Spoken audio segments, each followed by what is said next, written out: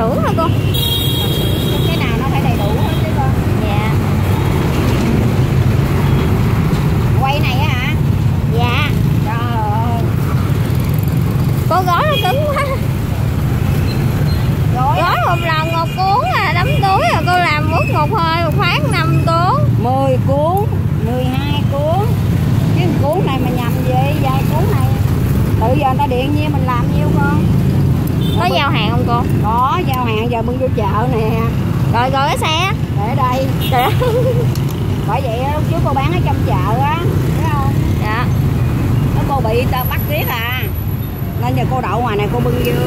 Để chắc ăn thấy không?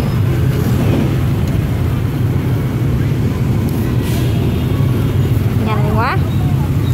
Chứ à, bây giờ mà mà mà, mà chờ ở ngoài đường này lâu lâu thỉnh thoảng mới có người đi đúng không? Dạ thường đâu mà ít người mua nữa. Mình bán quen trong chợ cô bán ở chợ này ba chục năm rồi.